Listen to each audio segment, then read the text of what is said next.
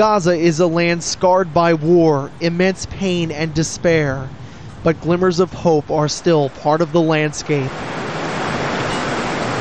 Since the end of the war, Taha Bakr has come to Gaza Beach to surf whenever he can. Before he gets near the water, he is reminded of the violence that happened here.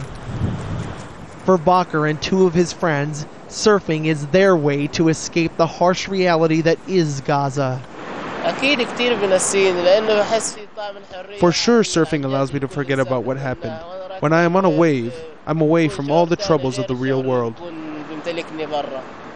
The open water of the Mediterranean Sea, albeit rough on this day, is an oasis of serenity. So traumatized are the people of Gaza after 22 days of Israeli airstrikes, many of them are turning to sports to help ease their anxiety. When I surf, I feel free like a bird. No one controlling me, no one telling me what to do.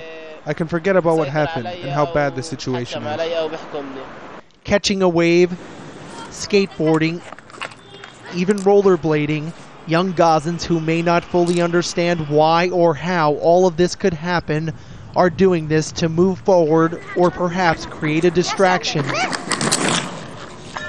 This was once a thriving complex for football, basketball, and various other sports, but as you can see, most of the facilities were completely destroyed.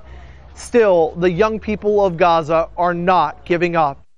Through chunks of metal and debris, we found 19 year old Wasim Al Danaf rollerblading in what is left of the sports complex. He didn't lose any loved ones in the war, but his life is forever changed by the violence. Skating allows us to forget what happened. It gets us away from the rubble and the misery that we have to live with. Bakr used to surf with a third friend, Nizar Abu Arab, but he says Israeli forces killed him months before this latest conflict. He understands the misery of war. Every morning, my father tells me that things will get better, but each day seems harder than the last. As he ends another session on Gaza Beach, Taha Bakr can't help but think of Palestinian Israeli relations and wonder if the tide will ever change. Todd Baer, Al Jazeera, Gaza City.